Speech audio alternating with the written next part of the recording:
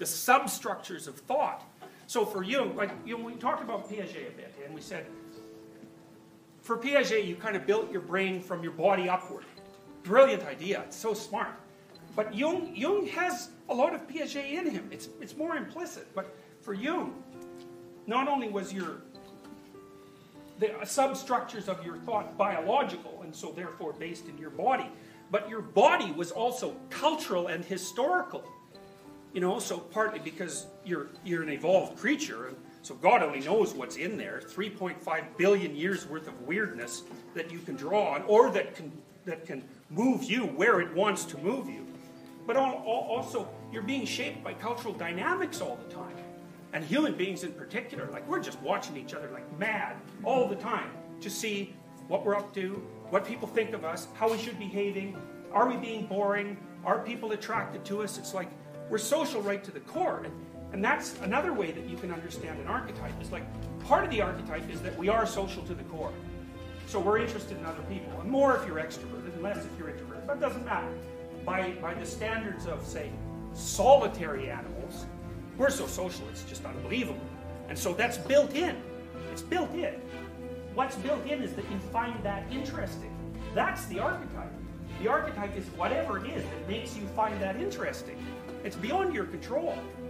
Like if you're extroverted, you're interested in people. You didn't decide that. It decided it for you. The question is, what is it?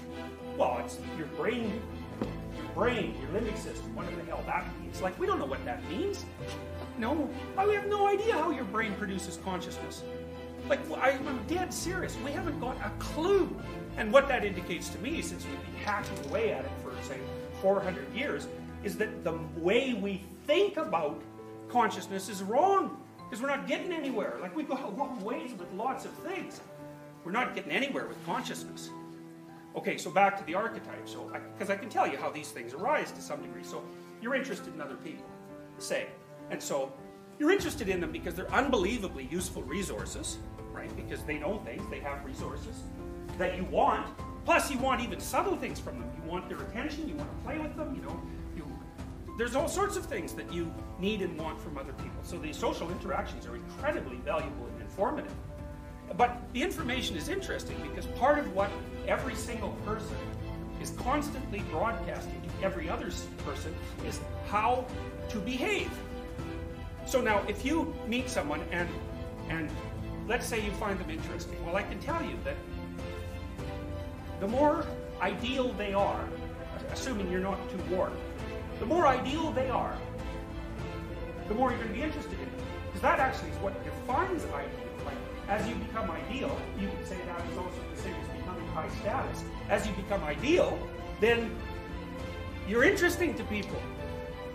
So that's interesting because that what that means is that you can read off people's interest to find out when you're deviating from the ideal. And they don't even know what the ideal is. The ideal is that to which their attention is inexorably drawn. And they're always telling you when you fall short of the ideal. Always. It's being broadcast at you all the time. And then your imagination back there is to try and figure out just what is this ideal? You know, because your imagination is watching you in a Piagetian sense, noticing what you do, and then trying to figure out what that is. so you'll have fantasies about the ideal. That, that often happens in, in a romantic relationship, especially at the beginning of it. Because, you know, you, you project your idealization onto the person that you're romantically attracted to. That's the projection of an archetype. So Jung would say, the woman will project an animus onto the man. The animus is her conceptualization of what the ideal man is. It's unconscious because it's rooted in fantasy. And the man will be in concordance with that projection in some areas. That's, those are the areas where she likes him, by the way, and will be discordant in other areas. And that's the areas where she constantly dis disappoints him as the relationship develops. So the, the projection is there in part to help the person understand who it is that they're dealing with because when you meet someone, you have to, you have to assume something about them. It's the same as projection. You have to assume something about them, and if you find them fascinating, which is what happens if you fall in love, maybe it's because they smell good or they're symmetrical or something, you immediately assume that, well, those things really matter. You immediately assume that they embody the ideal. It's an oversimplification, but the oversimplification has a basis. And the basis is, if it's interesting to me, it must be close to the ideal. Well, yeah, except the person that you're going out with, attracted to, is warped and bent and flawed and twisted in, you know, 300 ways. And you'll find that out soon enough, just as they will about you. And that often just blows the relationship into bits because the person will say, well, she wasn't who I thought she was. It's like, well, who said, whoever said she was who you thought she was? It's like, where did you get the misapprehension that she was going to be who you thought she was? God, what do you know? You know, you're led, you're led around by your sense of smell and your ability to detect symmetry. It's like that's, yeah, that's not very sophisticated. So those are those are so the anima and the animus are two primary Jungian archetypes, and they're very complex, but that kind of gets at the surface. Um, the ideal that I was describing, so people are broadcasting information to each other, which is be ideal, be ideal, be ideal, be. it's like be my ideal, obviously. But let's say, let's say if if I took a thousand ideals, and then averaged them or extracted out the common ideal, the ideal that was common to all of them, that would be a savior figure. That's what a savior figure is. And then now, now and then someone comes along who acts quite a bit like that. And poof, you've got yourself a religion. So do not be thinking that these images that people fall around like, like you know, like what bloodhounds on a trail. Do not be thinking that those things are like conscious cognitive constructs, like conscious cognitive constructs, like Marxism. They last like 50 years and they kill 100 million people, and then that's the end of that. A good religious system, man, that'll keep a culture going for like 3,000 years. And even at the end of it, it doesn't disappear. We know that the story of Horus and Osiris, for example, drove Egypt like Catholicism drove Europe for like 3,000 years. That's a long time. And then it turned into Christianity. So it's not like it disappeared. Actually, it sort of transmuted into Judaism and then turned into Christianity. So it's not like the ideas disappeared. They, they didn't disappear at all. And believe me, you're just as possessed by them as any ancient Egyptian. It's just that you're more fragmented and conflicted because what your unconscious assumes and what your conscious mind assumes aren't the same thing. And so you're like you're all at war with yourself. And that's partly what makes you attracted to like moronic ideologies, by which I mean any ideology, because they're all they're all false idols and false gods, and they're shallow. They're shallow and deadly, and they ruin your life. They destroy your soul. So that's a, just a catastrophic response, and that's why it's so terrible to have that discordance between your instinctual being, your deep instinctual being, and your little fragile, you know, half-witted conscious mind that sort of thinks it's in control. It's like you're not in control of anything. Believe me, best you can do is follow what's right. That's the best you can do. Wait, I mean, we even know this neurologically to some degree. Like, if you look at the hypothalamus, it's a little part of the brain. We'll talk about it quite a bit. It's sort of where the Freud, Freudian id resides, to the degree that it resides anywhere. It's this collection of nuclei that do things like make you hungry or make you thirsty or make you, you know, sexually desirous or um, make you defensively aggressive make you terrified of an intruder who, who, who threatens your dominant status. It's this little tiny part of your brain. It's hardly even there at all. It has massive projections coming up into the cortex.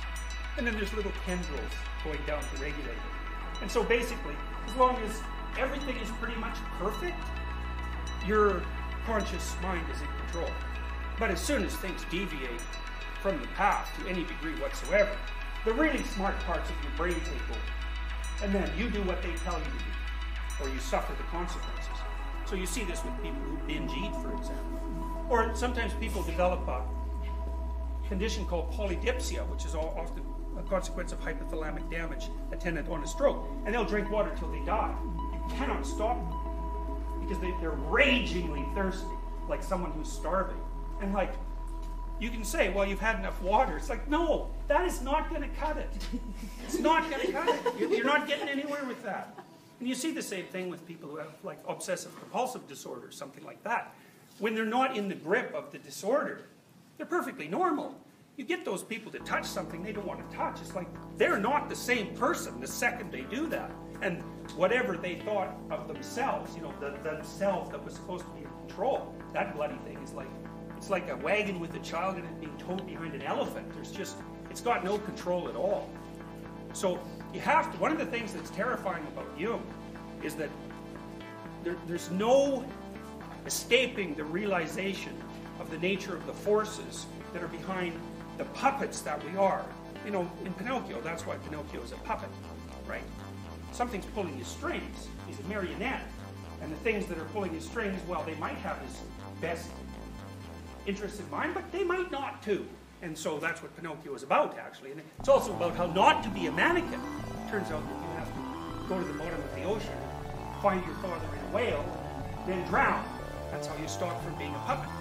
It's like, and you think, well, you don't believe that. And I would say, well, yes, you do. You went and watched the movie, and you enjoyed it. Not only that, you understood it, even though you don't have any idea what it's about.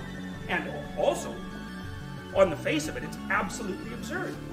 It's like, it's not a puppet first, it's a drawing of a puppet. So that's weird. That like that's two levels of weird. And then like what the hell's the Cricket? Where'd he come from? You know, and what's what's his role and why is he the conscience? And why does he get like activated by a fairy? And why is the fairy a star? It's like you're in there, you know, like Cletus the slack jawed watching the screen, captivated by it. And you know, you walk out and you don't even notice that you're so peculiar that it, it's just beyond belief. You don't even notice that that's so peculiar. It's like, what the hell are you doing in that theater? Watching this marionette follow a bug around to an egg, to a whale. It's like you walk out, oh, that was so touching. really, like really, people are really crazy, you know, and, and, and weird. Like we're like rhinoceroses or, or platypuses or ostriches or penguins. We're weird right to the core. And when you start to, the weirdness is so deep and so ancient that st even starting to touch consciousness of that just, it just rocks your boat. So, but it, but one thing or another will rock your boat. So sometimes it's nice to choose what, what thing it is. It prepares you for things too. So I'll tell you part of what Pinocchio means. Pinocchio is a marionette. Anybody can pull the strings. I mean, he's got a good heart, but what's that worth? Nothing. Virtually nothing. Because he's naive. You know, you can manipulate. It's the fox and the, what is it, that stupid cat that manipulate him, right? And basically, behind them, you'll see the devil, because that devil pops out quite quickly in Pinocchio. And he's the thing that's behind all the local manifestations of evil that are trying to pull Pinocchio's strings. He gets blown off the right path pretty badly almost turns into an unconsciously brain donkey who ends up working in the slave mines, which is exactly what happens, by the way. You know, to, that's what happened to devout communists who found themselves swallowed up by Stalin's nightmare in the 1940s and the 1950s. It's like, well, we were so good. We did everything we wanted. It's like, yeah, well, it turned out what we wanted is for you to die painfully. So, you know, congratulations. So, you know, and that's brilliantly laid out in Pinocchio, which in fact was written in the 1930s. Brilliantly laid out. It's, it's way it's way more intelligent analysis of the 1930s than anything you'll ever find that was written. So, Pinocchio, you know, he's trying to cue the proper path. And he learns that he shouldn't lie. That's a, that's a, you know, art that like, uh, I'll tell you why that is later. But it turns out that in order to get out of the horrible mess that he's put himself in, partly by being an, an a slavish adherent, adherent to momentary pleasure and nihilism. You know, he ends up half a jackass who can't speak properly without braying. So that makes him an ideologue. And the only way that he can get out of that is to go down to the bottom of the ocean, as deep as he could possibly go, deeper than anything is willing to go, to find his father. What's his father? His father is the culture that he lost touch with. You know, and to the degree that you guys are lost, like all human beings are lost, the reason you're lost is because you've never rescued your father from the bottom of the ocean. You haven't gone deeper. You won't, you won't have even known it was necessary. It's necessary. You're a social, historical, cultural creature, right down to where you become a biological creature. And if that isn't part of you, and if that part isn't functioning properly, then you're you can just be blown off course by the wind. There's nothing to you. Not grounded in anything.